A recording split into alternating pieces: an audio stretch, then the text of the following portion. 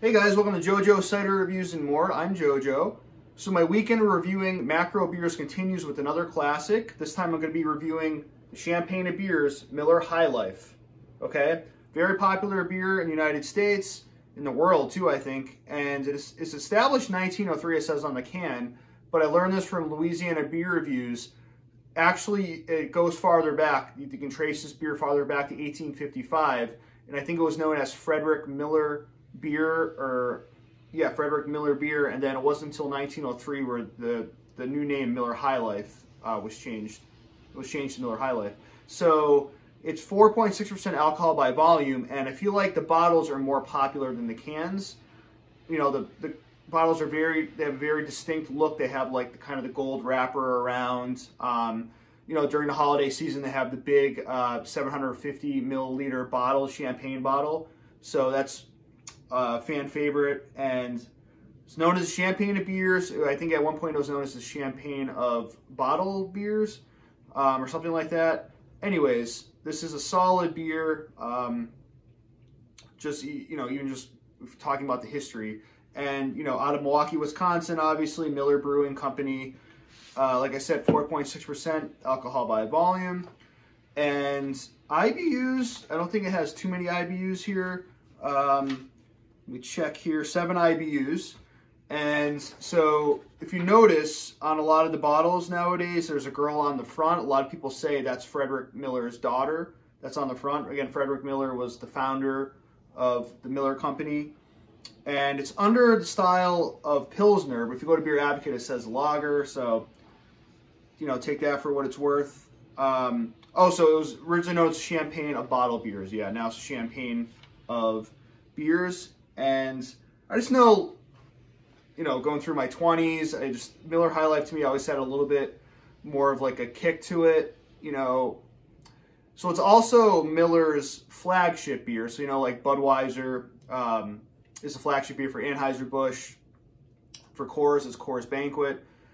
For Miller, it's Miller High Life. And I actually learned that from Louisiana Beer Reviews um, it's Jay's friend David. He does he does duo reviews with his friend David. Uh, so I learned that from David actually. And this has won a bunch of different categories uh, in competitions. It won a gold medal for American style lagers at the 2002 World Beer Cup. And yeah, it's just a wicked, you know, just a classic beer, guys. I'm really looking forward to re reviewing for you guys. Again, 4.6% alcohol by volume, so let's get right into it.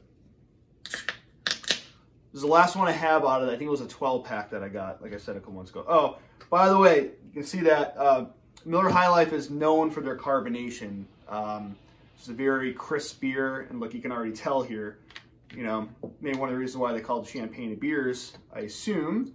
Just going with the pour here.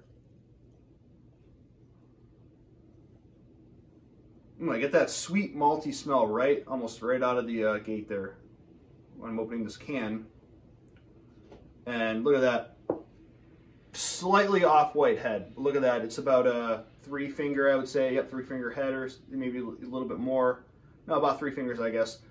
A lot of bubbles slowly streaming up to the surface. Notice some beers, the bubbles kind of come up faster, just a little bit slow, but there's a ton of bubbles, if you can see that. You can see right through the glass, classic straw colored, um, kind of a yellowish straw gold color. Solid beer, good head retention. It's going for the aroma. Sweet, a little bit of like an earthy, grassy smell.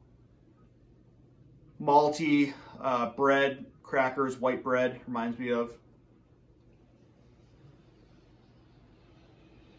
Just kind of smells uh, creamy. I don't know, just uh, a little bit of hop kind of bitterness too you get as well. You get that little more, like I said, oomph with this with Miller High Life. So without further ado, guys, salute.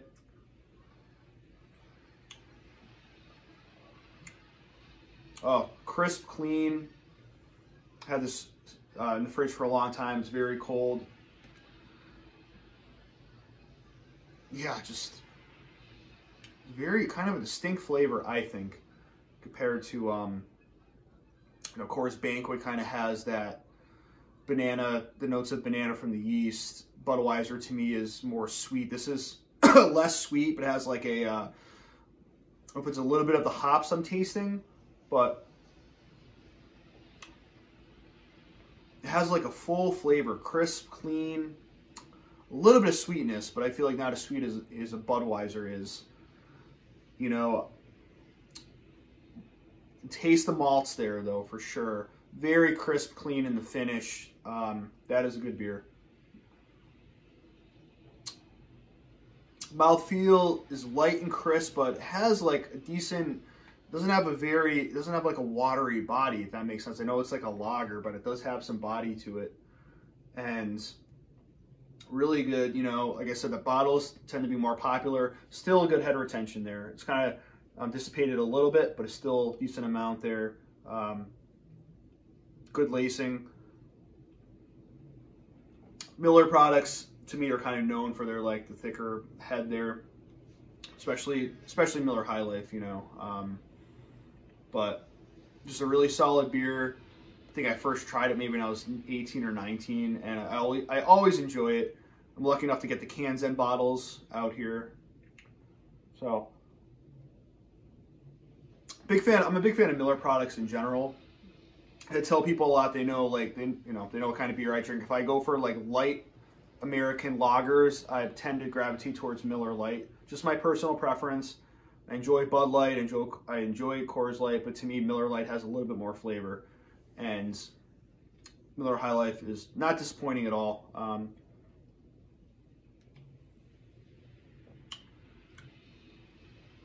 I don't know if that's the yeast, but it just has more of like a full, it's like a full flavor as it's malty and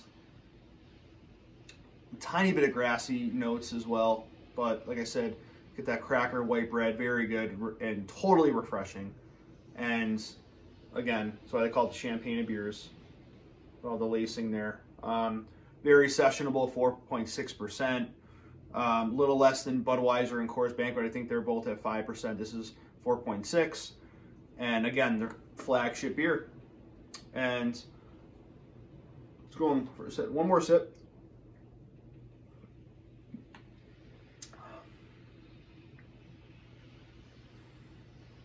Yeah, I'm going to the 90s for this. I'm going to say an A minus. I'm 90 out of 100. Very, very solid beer. Going down very smooth. Um, creamy head as well. Uh, yeah, taste. You can taste a little bit of creamy creaminess too. Very good.